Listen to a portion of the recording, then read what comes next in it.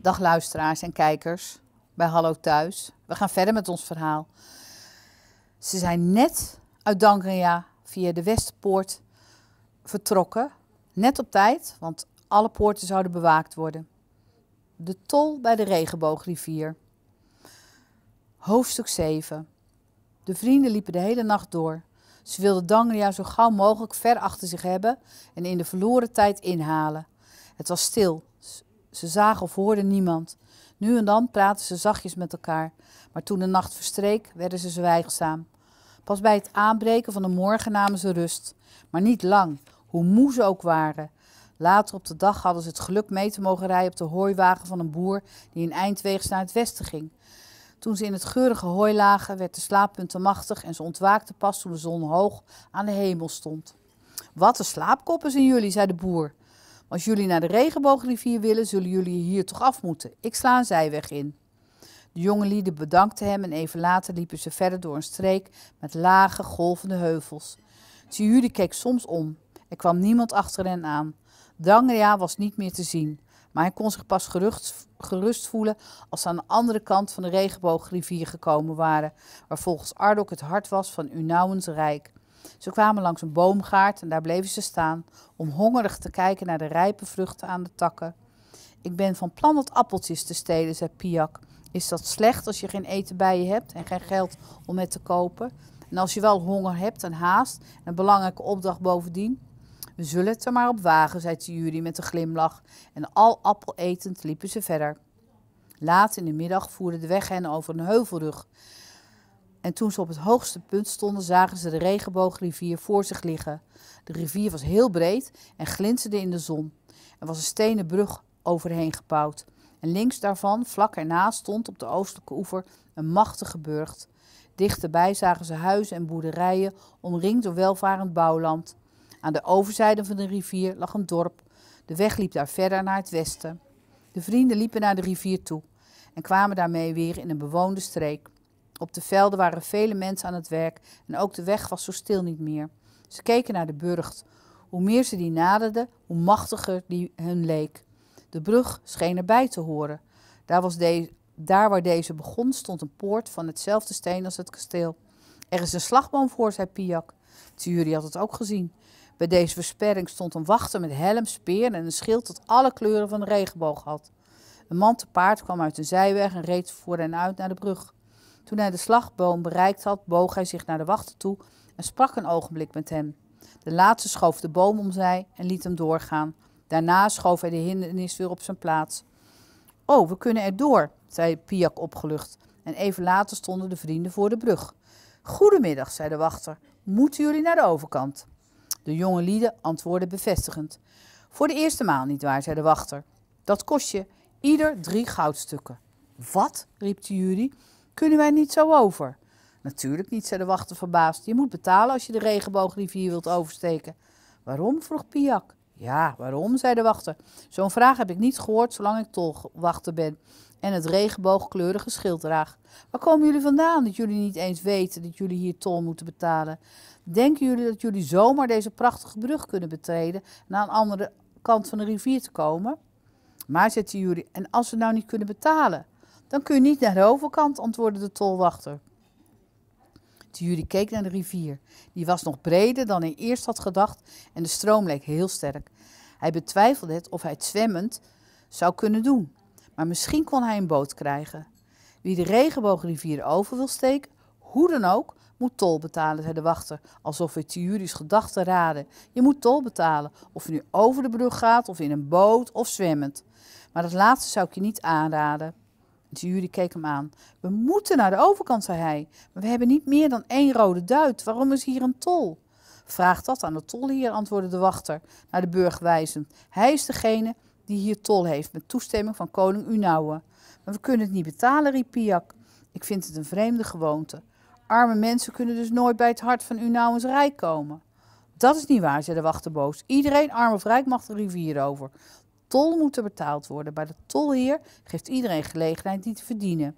Je kunt op zijn landerijen gaan werken en voor elke week die je werkt krijg je een goudstuk. En na drie weken heb je dan de goudstukken verdiend die je nodig hebt. Tiuri en Piak keken elkaar aan. Nu, wat zeg je daarvan, zei de wachter. Je hoeft dus niet te treuren. Ga maar naar die grote boerderij daar en vraag de rentmeester wat er te doen is. Ik denk dat je morgen meteen kunt beginnen.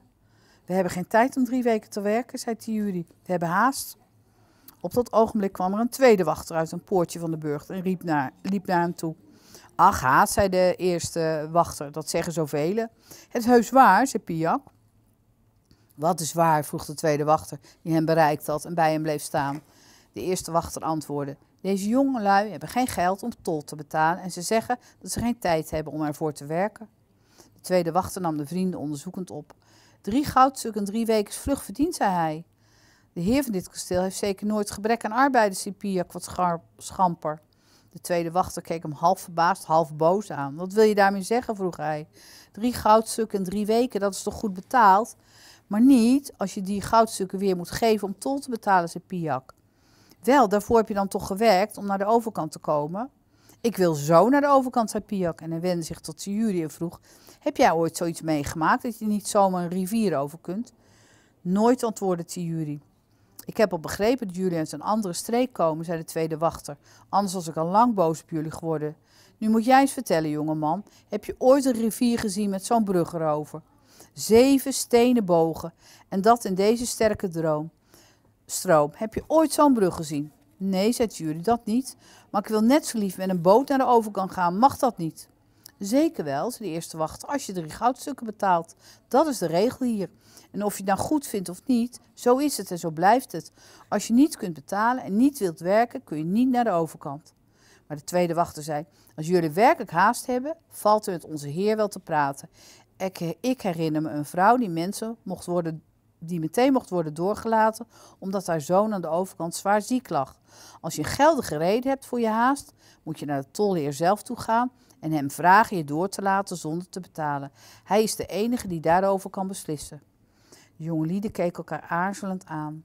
De tolheer maakte op het ogenblik een rondrit over zijn bezittingen, ging de tweede wachter voort. Meestal is hij omstreeks het zesde uur terug. Je kunt vast naar de grote poort gaan en daar op hem wachten. Dank u, zei Thierry. De jonge lieden groetten de wachters, maar de eerste hield er nog even tegen. Ik wil je waarschuwen, zei hij, dat je geen dwaasheden uit moet halen. Die zouden je wel eens meer dan drie weken kunnen kosten. Overtreders worden streng gestraft. Wat nu? fluisterde Piak toen ze langzaam naar de grote poort van de burg liepen. Ik weet het niet, verzuchtte Thierry. Het aan de tolheer vragen? Dan moet hij zijn geheim bekendmaken. En hoe kon hij weten of de tolheer te vertrouwen was? Alleen het feit dat deze tolhief maakte al dat hij weinig sympathie voor hem kon voelen. De deur van de poort was open en in de poortgang zaten wachters. De vrienden bleven staan een eindje er vandaan. Ze zeiden niets meer tot elkaar, maar wisten stilzwijgend dat ze eerst zouden wachten tot de tolheer terugkwam. Misschien zouden ze, als ze hem hadden gezien, een besluit kunnen nemen. Maar ik mag het eigenlijk niet doen, dacht Jury. Ridder Edwin heeft gezegd: vertel er niemand iets van. Ja, Piak weet het, maar dat is net alsof ik het zelf weet. Piak greep zijn arm. Daar komt hij, sprak hij fluisterend. In het oosten was het ongemerkt al vrij donker geworden. De lucht zag er zelfs uit alsof er slecht weer zou komen. En scherp afstekend tegen die lucht kwam een ruiter op een wit paard snel nader. Hij droeg een lange mantel die opwoeide door zijn vaart, zwart van buiten en azuurblauw van binnen. Een ogenblik later stoof hij hen voorbij, een man die ontzag inboezemde, met een bleek, mooi, maar streng gezicht en wapperend zwart haar. Hij reed de poortgang in zonder naar hem te hebben gekeken en werd daardoor de wachters inderdaad als hun heer begroet. De jonge lieden draaiden zich om en liepen als bij afspraak weg van de burcht. Wat weet jij van de tolheer? vroeg Tiuri na een poosje. Ik zag hem maar even, antwoordde Piak, maar hij lijkt me een grote heer en een machtig heer. Ik zou niet graag ruzie met hem hebben. Streng en ongenaakbaar mompelde Thury. Nee, de tolleer leek, leek niet iemand tegen wie je kon liegen. Niet iemand die zijn brug open zou stellen zonder geldige reden. De reden die hij niet durfde te vertellen. En ze liepen langs de slagboom. Alleen de eerste wachter stond er nog en keek hen spottend aan. Ten slotte wandelden ze langs de rivier over een pad dat er een eindje boven lag.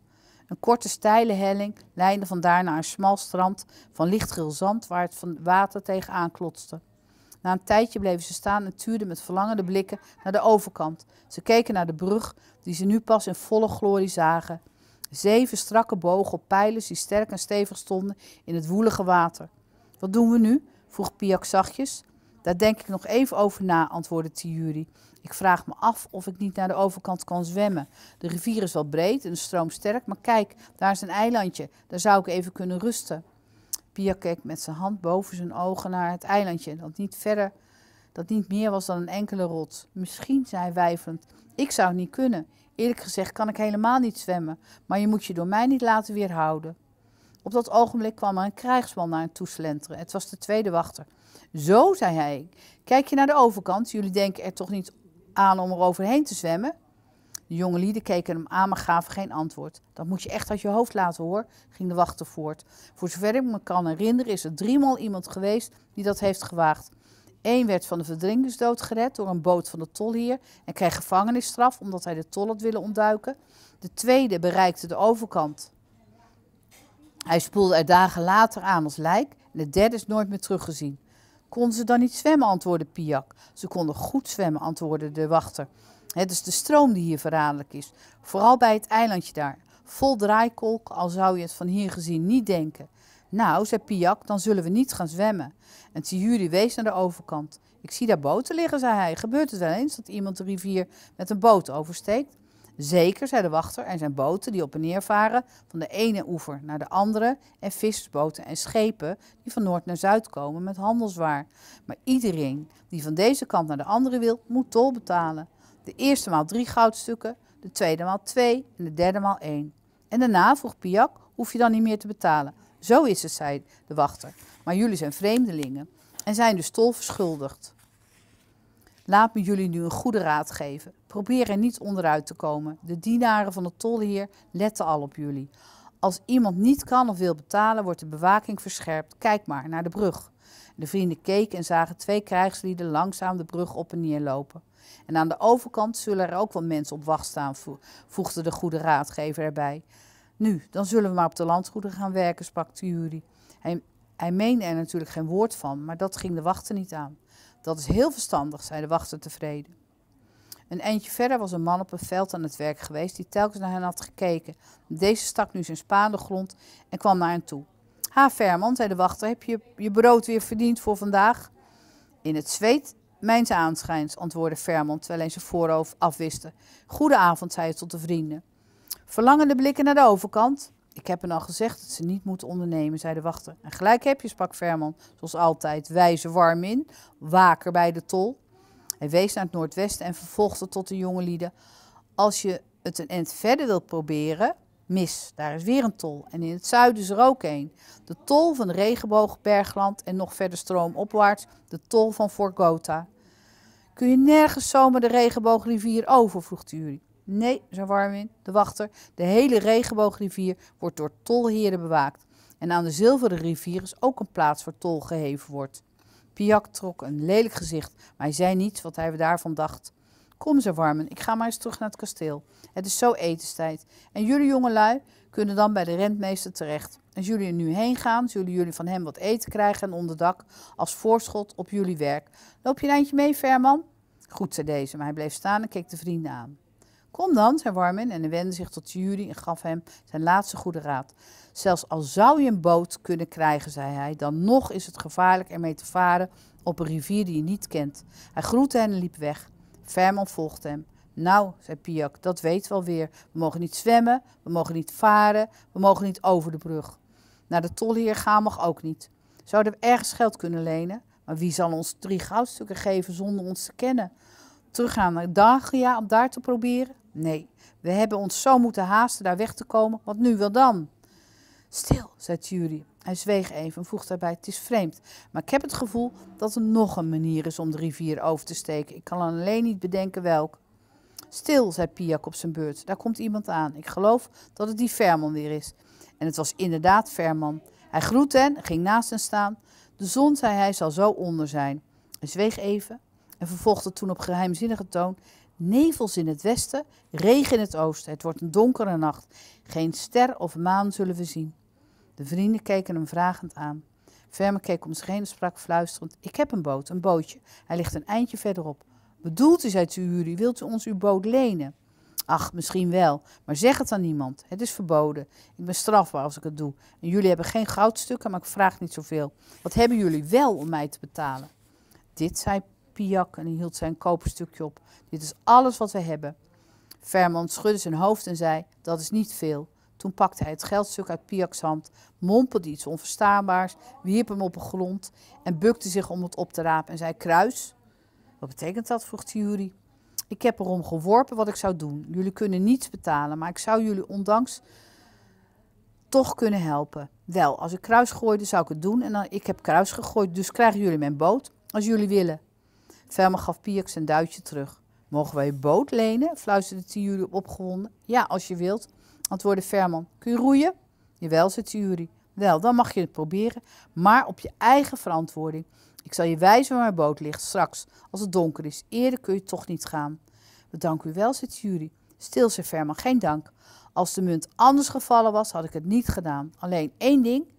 Je mag niemand vertellen dat de boot van mij is. Ik heb al tweemaal in de gevangenis gezeten en ik wil die niet nog eens in. Als je gepakt wordt, zal ik je ook niet helpen. Het is op je eigen verantwoording. Je zag die boot toevallig liggen en nam hem, begrepen? Natuurlijk, zei de jonge lieden. Ik ga nu weg, zei Verman. Kom na de slag van het twaalfde uur hier terug, zodat niemand je ziet. Loop langs het strand met de stroom mee. En ik zal dan op jullie wachten. En als ik je nog een goede raad mag geven, ga dan nu naar die boerderij daar en vraag de rentmeester om werk. Als jullie dat gedaan hebben, zullen de dienaren van de tolleer niet meer zo op jullie letten. En misschien zullen jullie wat te eten krijgen. De jonge lieden zeiden dat ze het doen zouden. Bedankt hem nogmaals en namen afscheid. Tot straks, zei Verman. En hier eindigt het verhaal.